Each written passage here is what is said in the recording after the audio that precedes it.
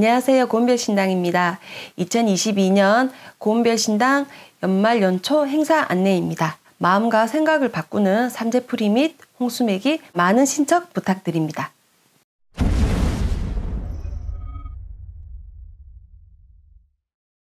안녕하세요. 안녕하세요. 권별신당입니다. 여러분 반갑습니다. 아 선생님 잘 지내셨죠? 네 목소리가 조금 안 좋아요. 아, 감기가 코로나19로 걸리고 나서 계속 가요 이게. 아 그런 분이 많죠. 코 그러니까 왜 열은 안 나는데 콧물 찌기지 열고 막 그런 거. 왜 갑자기 마스크를 써요? 웃긴다. 아니야 괜찮아. 네 이번에 그 네. 부활구직 행사. 네네. 아 저는 이제 선생님께 좀 다이렉트로 얘기를 들어서 음. 엄청 고생 고생하셨다. 어 이거 왜냐면 개인상을 다 차렸잖아요. 이게 합동이 아니잖아요. 음. 각 집마다 해야 되잖아요. 조상복을 제가 기본 할머니 할아버지들 여섯 벌 이상씩 거기에 또 추가되는 게 있을 거 아니에요. 그냥 왜 내가 이분들만 이렇게 해주란 분이 있고 자기 또 이렇게 누구 이렇게 왜 신청한 분들이 또 있을 거 아니에요. 저는 할머니 할아버지 있는데 또 다른 분들 그러니까는 조상복에 이거에 막 어마어마했어요. 근데다가 이거를 여자 남자 구분했잖아. 이거 이거 추구문 있을까? 추구문 보면서 여기는 몇 분, 탁탁탁 기본 여섯 분에 플러스 될 거 아니야. 이거 보고 하나씩 또 까고 또 신발도 짝짝이가 되면 안 되잖아요. 여자 남자 따로 있으니까 이큰거 들고 다니면서 여기 신발 몇 명, 이렇게 몇 명 여자 거 몇명 놓고 남자 거 몇명 놓고 또 뭐가 있어요? 양발도 있어야 될 거 아니야. 여자 양 여자 양발, 남자 양발 다 구분해가지고 아마 내 제가 이거 사진 제가 일일이 하나씩 또 출근문 찍고 이거 상 찍고 또 하는 거 이번에는 제가 못 오신 분들 많잖아요. 동영상도 찍어가지고 다 보내드렸거든요. 이거 손님들 이거 카톡 이거 하는데 한 세네 시간 걸렸어요. 왜냐면 보내는데도 시간 걸리잖아요. 영상 또 안 가는 분들이 있어. 그럼 영상 또 잘라야 돼. 아 이게 또 영상이 안 가는 사람들도 있더라고요. 네. 이게 갖고 영상 자르고 또 법사님 출근하는 것부터 해가지고 근데 이, 이 고루 또 몇 개를 풀어야 돼. 묶어야 되잖아. 아 이거 다 묶어야 되지. 또 다 풀어야 돼. 그리고 3일 동안 여기 어깨 아파가지고 이게 팔이 안 올라가지고 알아 누웠잖아 진짜로. 고 묶어야 되지. 또 고 풀어야 되지. 또 조상복 들고 안고 어떻게 돼요? 내가 내가 몸을 실어야 되잖아. 네. 들고 떼야 될 거 아니야. 한 집당 그것도 다 놓치면 되니까 싹 들고 또 뛰고 또 이게 하고 또 하고 또 웃긴 게 이게 하다 보면 그래요. 가져가고 싶은 음식이 있어. 그 망자가 네. 어 사탕을 이렇게 안고 사탕을 여기 올렸을 거 아니에요. 사탕 여기다가 조상복에 놓고 또 띄고 또 어떤 분들은 전도 있고 이게 다 달러. 그러면 이제 거기 안에 넣어가지고 그러니까 얼마나 힘들었겠어요. 어 그렇게 해가지고 아침 8시에 시작해가지고 9시에 끝났어요. 근데 그 전날 밤 9시. 예, 상을 준비를 해놓고 갔지 법사님이랑 법사님이 다 이 조상 그것을 푸는 거잖아요. 다 이렇게 해가지고 상이랑 글 미리 만들어 놓은 상태였는데 그 땅에 있는 접시, 술잔, 뭐 제기를 싹 다 다 썼어요. 그것도 부족했어. 진짜 거기 있는 접시며 제기며 수저며 막 뭐 싹 다 갖다 썼거든요. 와 근데 그걸 왜 한 번 안 되잖아요.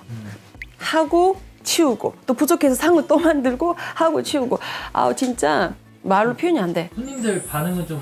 오 문자를 내가 보여줄 순 없지만 손님들이 감동 감동 막 너무 고맙다고 막 진짜 이렇게까지 해줄 줄 몰랐다고 어, 다른 이게 요즘 이런 거를 뭐 행사나 이런 거를 사람들이 많이 해봐서 알아요 음. 그래서 하는 말이 진짜 이렇게까지 음식이며 뭐며 뭐 다 차려가지고 또 개인상이잖아 상 차리고 이렇게 해가지고 솔직히 이렇게까지 해줄 줄 몰랐다고 너무 고맙다고 이제 제일 내가 마음이 좋았던 게 마음의 짐을 내려놓았습니다 어. 한결 자기가 되게 마음이 그랬는데 선생님이 이렇게 해줘가지고 마음의 짐을 제가 이제 내려놓았습니다. 너무너무 감사하고 이거를 아 이제 매년마다 하고 싶다. 어, 매년마다. 조금 어, 어, 근데 조금 내가 음, 음, 했지만은 어 내가 아 그럼요 했더니 너무 너무 이제 좋았다 그거야 그래가지고 네 어쨌든 되게 어 힘은 들었는데 되게 진짜로 하고 돌아올 때 너무 너무 행복했어요. 이게 음. 점집에 가서 음.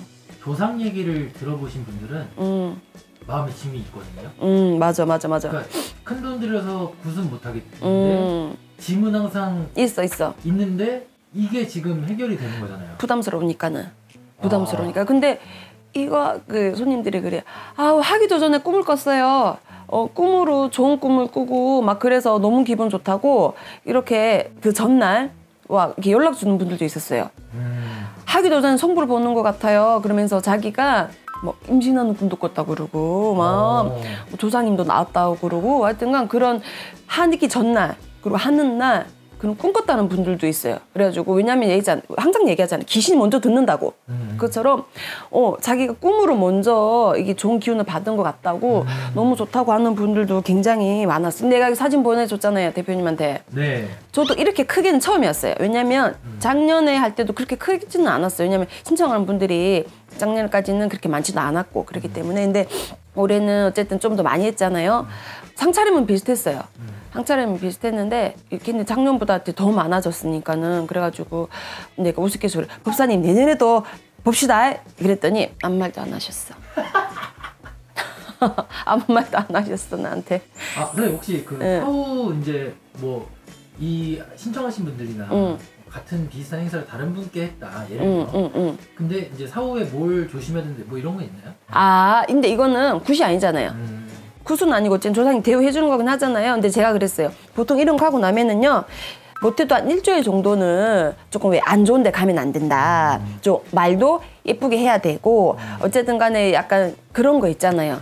우리가 왜 뭐 굿하기 전에 전날이든 그때도 우리가 왜 몸과 마음을 좀 깔끔하게 깨끗하게 해야 된다. 무슨 말인지 알죠? 좀 이게 부정 타는 거 하- 행동하면 안 된다고 하잖아. 근데 내가 손님한테 그 얘기 해 주진 않았는데 근데 요즘 손님들이요 더 잘 알아요. 알아서 연락이 와요. 뭐 하고 나서 뭐또 그렇게 할까요? 근데 그런 문자는 아직 안 받았어요. 감사합니다, 선생님. 네, 감사합니다.